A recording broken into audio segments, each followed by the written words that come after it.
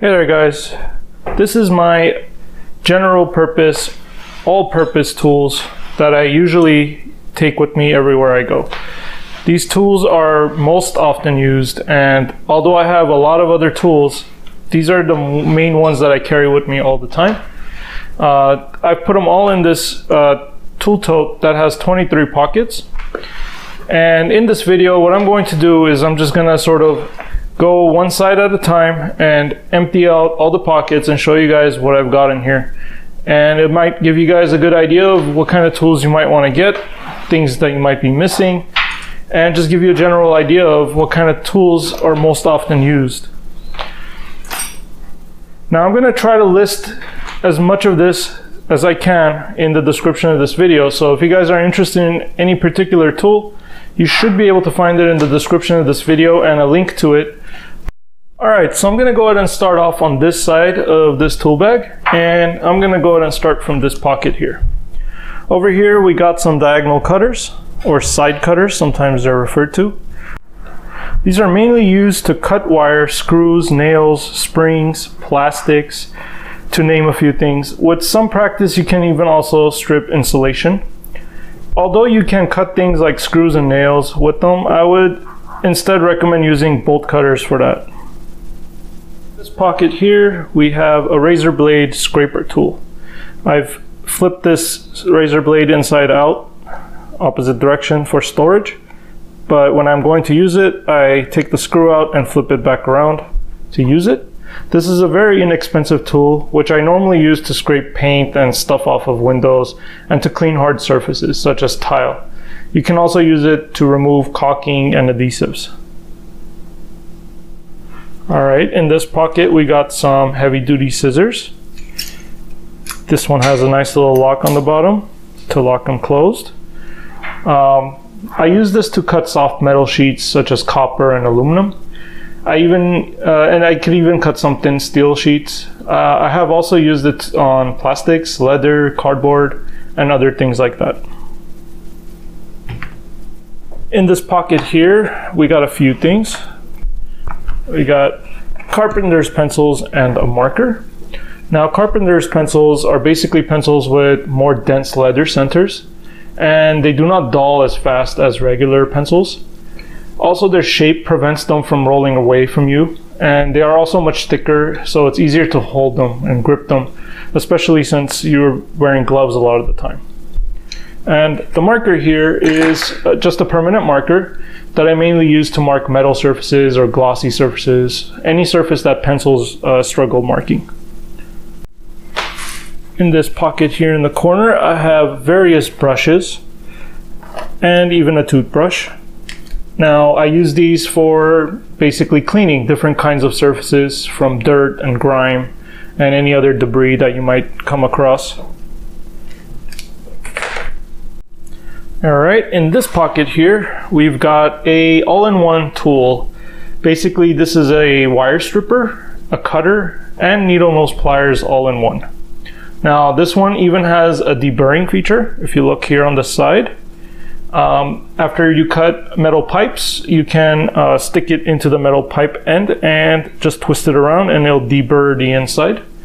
Um, another feature specific to this one here, uh, it has um, these bolt cutting holes. If you look right here, these two holes. And basically what those are is you screw in uh, bolts into them and you can cut them shorter and here it specifies the size 632 and 832 those are common size bolts. Now this tool can strip different sizes of wires. It can strip 10 12 14 and 16 solid gauge wires. And it can also strip 12 14 16 and 18 stranded wires if you plan to use these wire strippers for residential electrical work, uh, make sure it can strip 12 and 14 gauge wires if you're going to buy one of these. Um, if you're planning to also work on appliances, air conditioners, dryers, heaters, things like that, also make sure they have 10 and 8 gauge wire stripping capability as well. Now we're almost done with this side, but we got a couple more things. We got WD-40 over here. Um, you can use this for several different reasons. One of the main reasons that I carry it around is to loosen anything that's stuck. parts, bolts, things like that. And another common use is to lubricate things and also to protect metals from rust and corrosion. I use this often to clean my tools after, you know, they get wet or something like that. And uh, I love these small little bottles because I can carry them with me all around and they don't take up much space. Now hanging here we have some Teflon tape, Gorilla tape, and some Velcro. I got two types of Teflon tape here. I got yellow and white. The yellow tape is thicker and is used on gas piping mainly. And the white tape here is not as thick and it's usually used for water. The Gorilla tape is like a heavy duty, all purpose, all weather tape that you can commonly find in many home improvement stores. And the Velcro here is just for temporary bonding of things together, like wiring and cables. Uh, it doesn't leave a sticky residue. Unlike zip ties, you do not need to cut them or anything like that. They're just reusable. All right, let's go ahead and rotate this bag around to this side here. On this side here, we got a voltage detector pen. This is a very good tool to have when working with electrical things around the house. Uh, you hold it close to anything you want to check if there is the presence of voltage. I use this as an extra measure to test things before touching them, just in case, you know, I have forgotten to shut off the breaker or shut off the wrong breaker, basically, to an outlet or switch that I'm working on. And on this side here, we have a 4 inch C-clamp. This is a very versatile tool. It's mainly used to secure parts for assembly, fastening, gluing, things like that. You can even use it for welding. I have used this a lot to hold uh, cabinets together like side by side while screwing them together. And it's relatively small. You can carry it around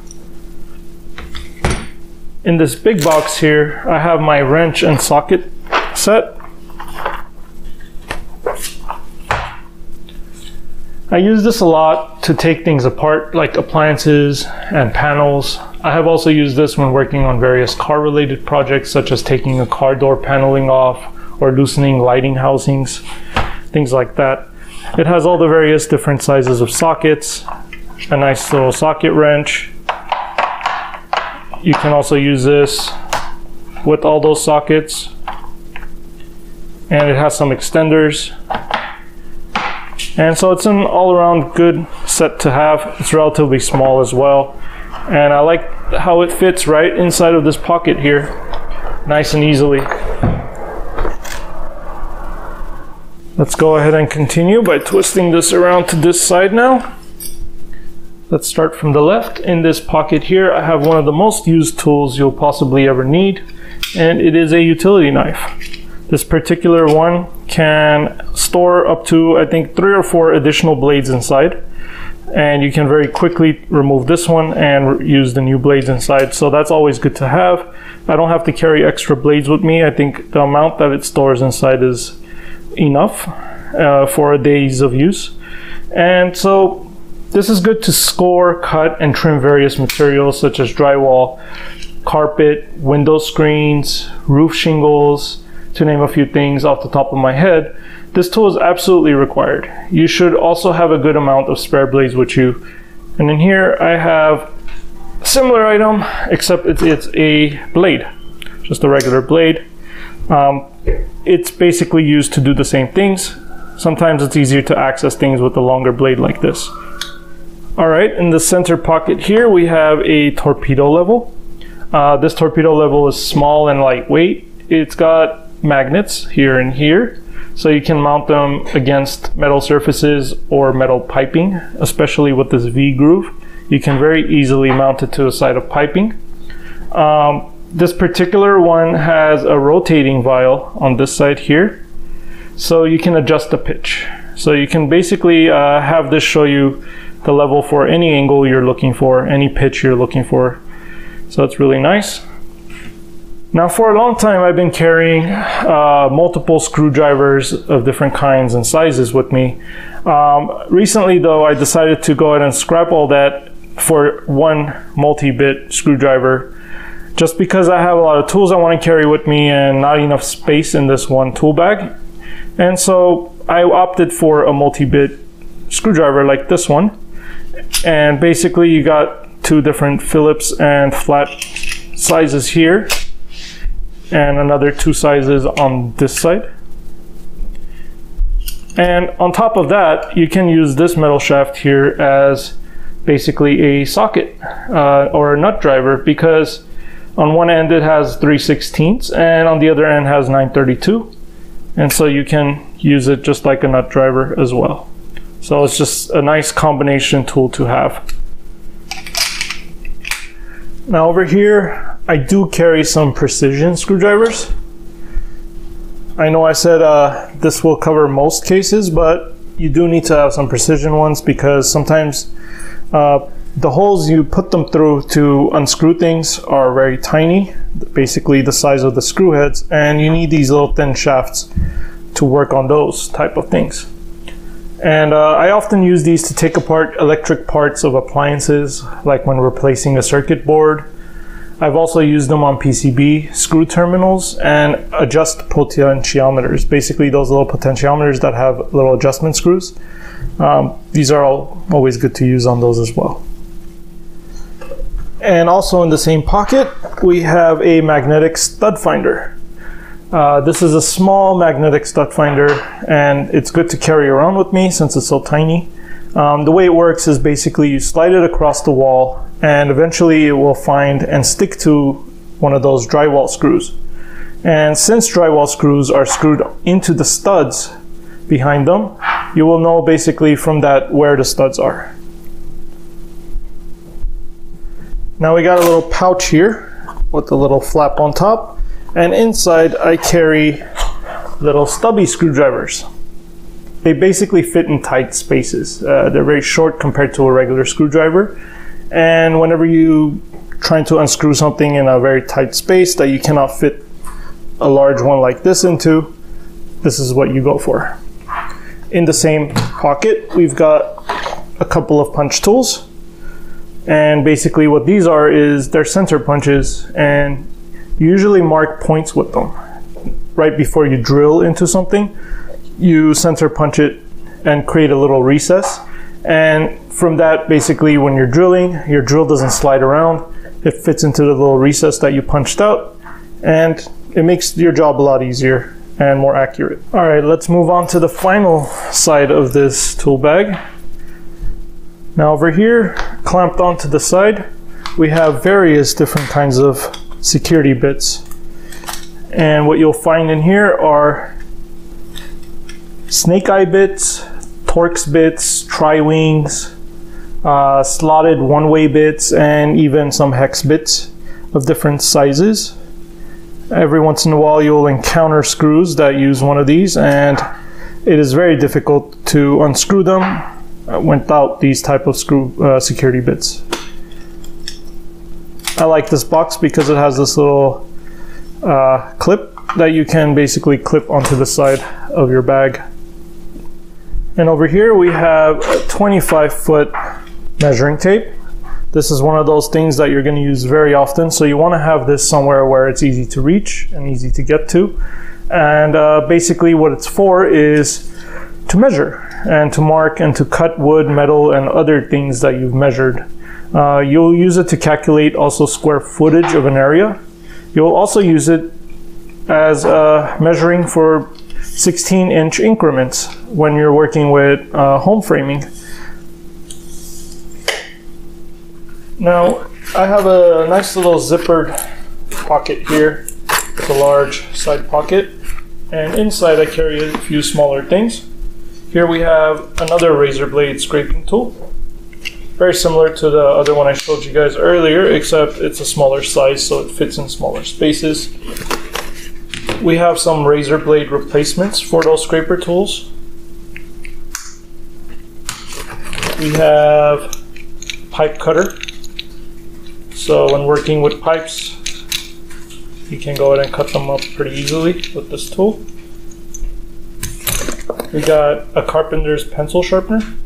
And the way this works is really neat. It has a little contour here or the shape of one of these guys. So it's very easy to sharpen it with this. We have a couple of different outlet testers. So when installing uh, outlets, you always want to test them afterwards. This one in particular has a GFCI testing as well. Those are the ones that you usually install in kitchens and bathrooms and stuff like that. So we got a couple of those. And we also have an adapter to adapt uh, a non-grounded outlet to a grounded outlet. And I mainly use this for when I'm working in an old house that doesn't have a grounding port. Uh, port. And uh, the tools I'm using have the grounding probe, and so you can't plug them into the old outlets, so I use this to adapt. That's pretty much it in this pocket.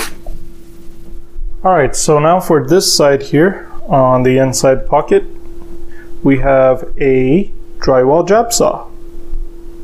I use this tool to cut shapes into drywall and plaster for things like switch and power boxes.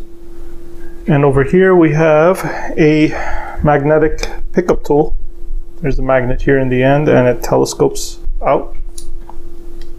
And uh, this tool can be a lifesaver. Uh, it allows you to basically extend it out and reach most places that you have dropped something metallic, something magnetic, like screws, bearings, and so forth.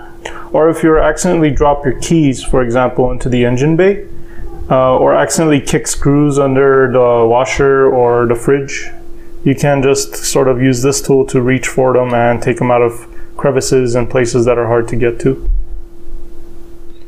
Over here we have pliers and uh, these are good to hold things with, uh, to compress things, different materials and uh, bend things with them as well. I've bent a lot of different metal types and stuff like that.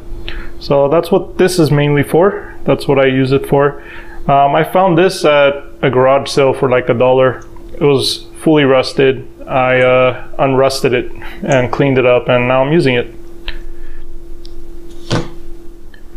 Over here we got a very aggressive looking tool.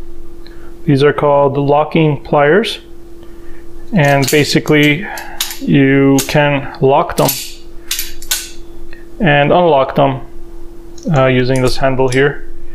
So basically what these are for is you can use them like a clamp. Uh, you can use it to hold things. You can use it to pull out like stubborn nails and staples, or even um, you can pull out nuts and bolts that have been stripped or rounded.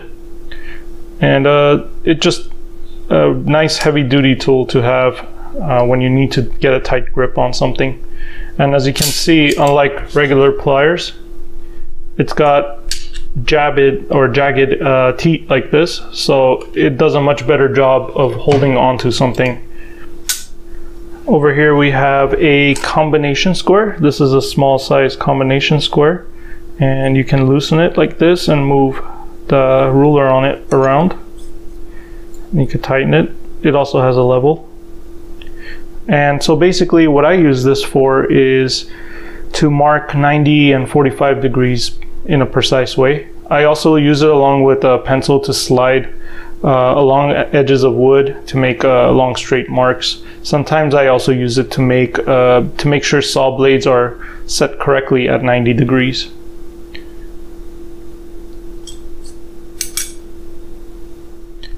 Here we have a claw bar tool.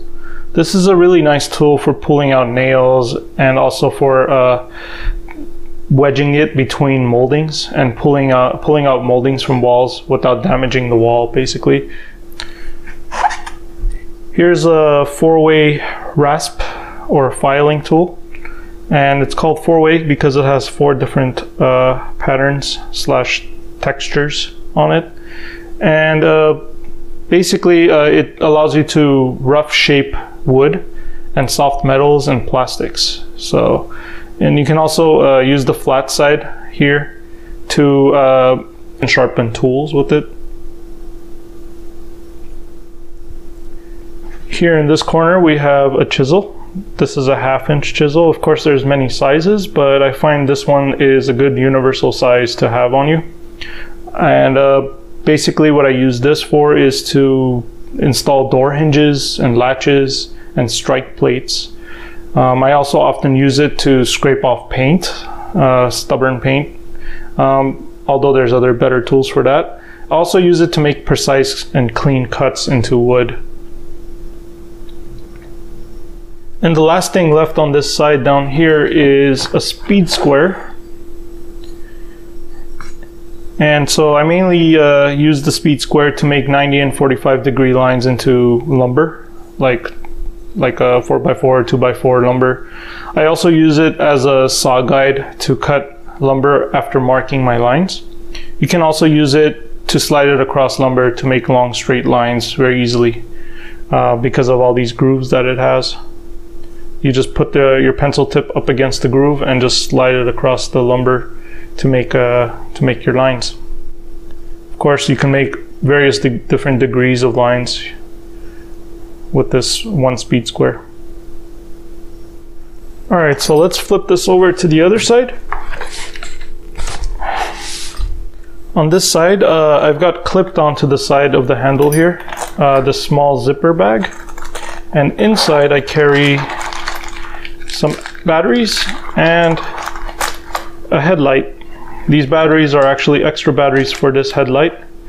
And uh, having some kind of lighting is a must. Often I work in dark areas like when working under sinks or outside in the dark. Uh, sometimes when working on electrical stuff, I need to cut off the power and I need another source of light. So let's go ahead and put, put this bag out of the way so we can see the rest of the tools on this side. Let's start off with the big one, the hammer. This is a 16 ounce rip claw hammer and uh, you use it obviously to drive nails and pull out nails using the claw on this side.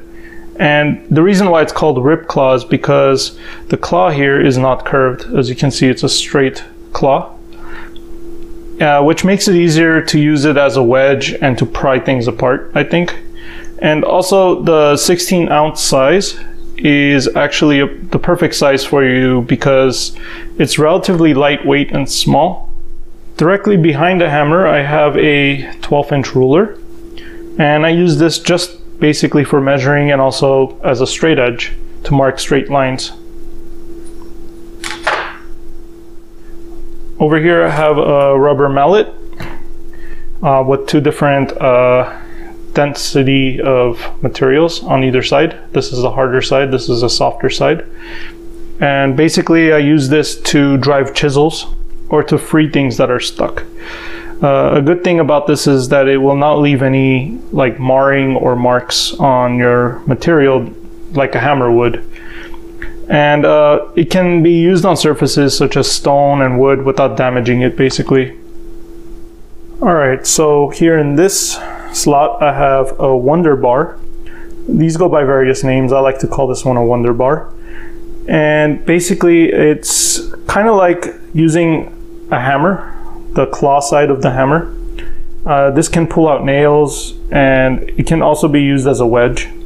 However, this is uh, much smaller than a hammer and so it can fit into tighter spaces. Here we got a couple of different sized adjustable wrenches. Now, instead of carrying a bunch of different wrenches with me, uh, I opted to use adjustable wrenches instead. You're going to want to have uh, two of these uh, because a lot of the jobs you do, a lot of the things you work on that you need a wrench on, sometimes there's two things that you got to hold and work in unison with, like two different nuts on one uh, bolt or something like that. And here we got an awl. This is a sort of a larger sized awl. And basically I use this to punch holes into things or to enlarge existing holes with them. Uh, you can use it to mark uh, points or make dimples into wood. You can also use it uh, to open like caulking and adhes adhesive tubes. You know how you have to kind of cut off the tip and puncture a hole inside? You can use uh, something like this. And here we have zip ties. Everybody needs to have zip ties. If you're carrying some sort of tool bag, you gotta have some zip ties in there. They always come in handy. Um, you can use them to tie wiring together, hang things, hold things together. Uh, there's just so many ways you can use it and it's extremely important to carry at least a few of these around with you. All right, finally moving on to the center of the bag. Let's start with these spring clamps. I got a couple of these uh, clamped onto the edge of the bag here. And similar to a C-clamp, I use these to secure parts for assembly and fastening and gluing, stuff like that. I have this uh, zipper bag thrown on the top here. And inside, let's see what we got.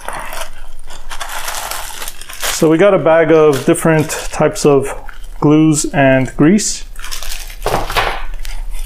I got some rubber gloves, some uh, marine goop, and sandpaper. Tucked in this corner here, I also have some gloves.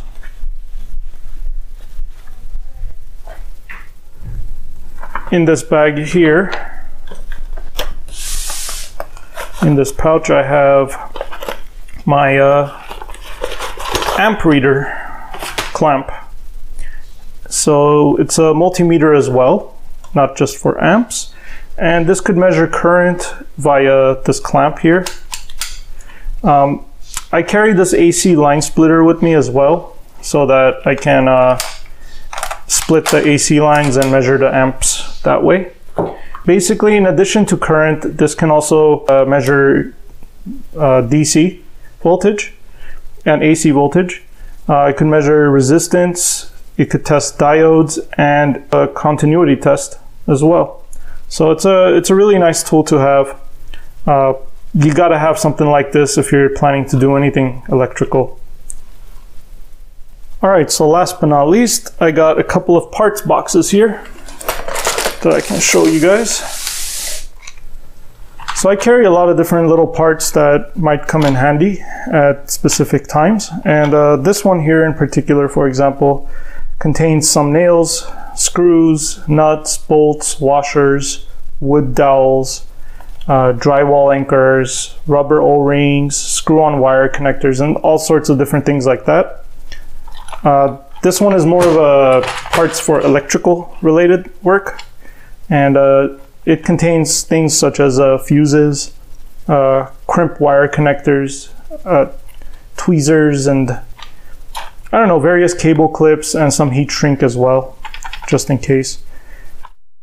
All right, guys, that's it for now. Um, thank you guys for watching. Again, all these tools, uh, most of these tools, I should say, is available online. I'll have the links to them in the description of this video, including the tool bag I'm using. I bought this online on Amazon as well.